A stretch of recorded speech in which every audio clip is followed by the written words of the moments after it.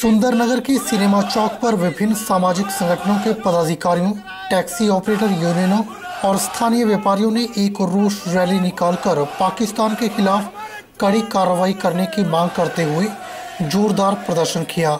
इस मौके पर शहीदों के सम्मान में आत्मा की शांति के लिए दो मिनट का मौन रखा गया। इस कार्यक्रम की अध्यक्षता व्यापार मंडल के प्रधान घनश्याम महाजन ने की। उन्होंने मोदी सरकार को आगाह करते हुए कहा कि अब छप्पन इंच का सीना दिखाने का समय आ गया है। ईंट का जवाब पत्थर से दिया जाना चाहिए। पुलवामा